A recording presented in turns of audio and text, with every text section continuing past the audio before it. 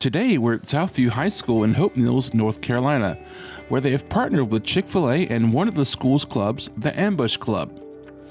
Together, they are hosting an interview workshop and hiring event. Club members and students can participate in interview training and receive tips given by the Chick fil A hiring manager.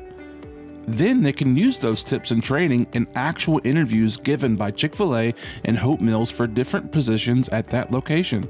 The term ambush is an acronym that stands for academics, manhood, brotherhood, unity, services, and honor. With this event, the Ambush Club, South View High School, and Chick fil A are hoping to create successful students that will one day become premier professionals that are committed to their communities through acts of service. James Hayward, the club's leader, had this to say. Yes, so my goals for this event is simply to have one of these students attain a job and positively impact their family. We also spoke to John Goodman, one of the Chick fil A representatives at the event, to find out what some of the characteristics they are looking for. Um, so I would just say um, just a natural discipline um, and work ethic. And what I mean by that, just, just naturally, it starts with getting up on time, uh, being prepared, having your uniform, uh, having a name tag to that uniform and your hat, uh, and just being able to work with a team.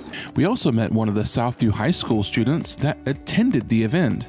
I think it's pretty cool, pretty cool because I've been interested in Chick-fil-A. I emailed them when I was 14, um, but this like the interview, I didn't really get it because it was like not on my schedule.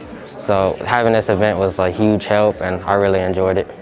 We hope that with this event, our students have learned important skills for entering the workplace. At Cumberland County Schools, we strive for excellence and collaboration. We partner and collaborate with different brands on a regular basis to create exceptional environments that cultivate innovation and, most importantly, hold students. If you would like more information on what we do and more events like these, feel free to visit our website www.ccs.k12.nc.us. There you will find links to events, resources, and even more Cumberland County Schools news.